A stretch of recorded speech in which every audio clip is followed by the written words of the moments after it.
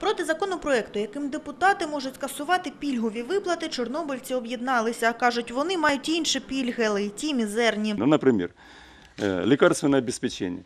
Если в расчете на каждого чернобыльца 4 гривни держава выделяет в месяц, а за год это 48, да, то за 48 лекарства, поддерживающая терапия, э, медицинский термин такой, за 48 э, гривен в году не выживешь. И поэтому, если у нас заберут еще наши пенсии, то за что мы будем покупать лекарства? За, за счет чего мы будем полноценно питаться? Мы просто будем умирать чаще, чаще и быстрее, чем умираем на сегодняшний день. Битися з Беркутом і штурмувати раду, кажуть чорнобильці, готові заради того, щоб не втратити основне джерело існування. Губернатор Михайло Добкін такі заходи хоч і називає неадекватними, але погоджується, якщо держава надала пільги, вони мають бути завжди. Щоправда, протестні тенденції в суспільстві, які останнім часом розпалюються, можновладець вважає природніми настроями людей. Каже, це доказ того, що ми живемо в демократичній державі. Это абсолютно нормально. Это не говорит о том, что у нас в стране происходит непонятно что. Возьмите Францию, возьмите Италию.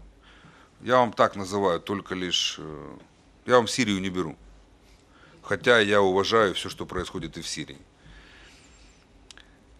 Я беру государство, где уже достаточно долго есть устойчивая демократия. Там тоже выступают то против подорожания томатов на рынках, то против лишения льгот водителям автобусов, как было в Париже. Та у самих протестувальників думка зовсім інша. Всеукраїнська громадська організація «Ніхто крім нас» об'єднує ветеранів Афганістану, Чорнобилю, навіть підприємців. Там найближчими днями готують наступну багатотисячну акцію в усіх обласних центрах України. Люди так само обурені законопроектом. Вважають, таким чином олігархи взялися прибрати до рук і соціальні виплати. Люди выходят э, за свое, за родное, за жизнь. Они, с- люди сегодня борются за жизнь.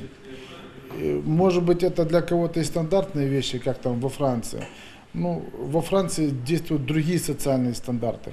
А у нас на сегодняшний день забирают последнее. Тим часом вже у другій половині дня лідер фракції партії регіонів в парламенті Олександр Єфремов заявив, що ніхто не скасовуватиме пільг для чорнобильців і афганців, передає Інтерфакс. За інформацією видання Єфремов уточнив, що законопроект 9127 ще не поставили на розгляд у сесійній залі. Афганці ж, чорнобильці і підприємці збираються 3 листопада під стінами обладміністрації в регіонах України вимагати розпуску Верховної Ради. Світлана Сірик, Дмитро Семенов, агентство телевізії новості.